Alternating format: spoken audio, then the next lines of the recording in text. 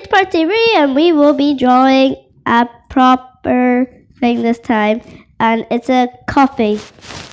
Well, not a coffee, it's like a hot chocolate. I don't know what you call it.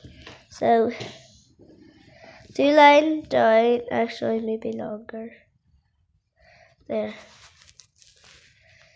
And then Another line. make them even. Connect at the bottom. And then at the top, you're gonna draw a circle. An oval maybe. Like, you know what I mean. Yeah. And then here, you're gonna draw that. It's like, because that's the stuff inside. Draw a line coming out.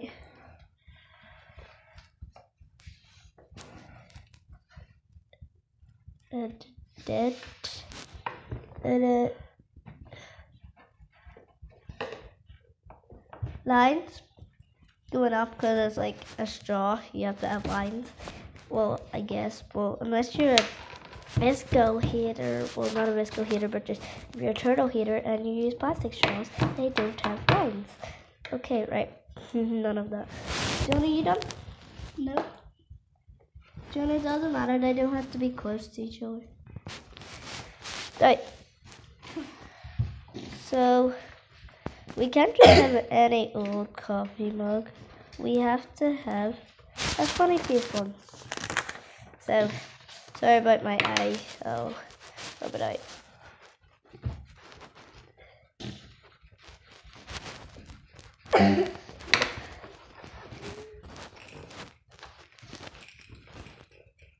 A circle and then inside a circle and a wee circle. Do I do it we normally do a big circle and a wee circle?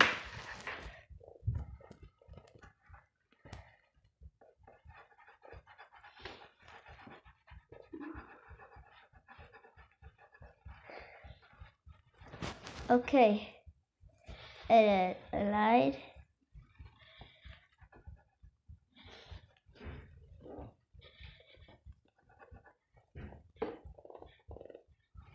There, John, oh, how are you doing? John's everyone. If you think ours is good, thank you. But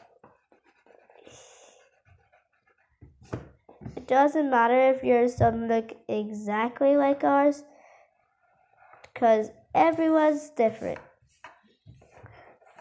While we're here doing art, um, if you like, like, subscribe,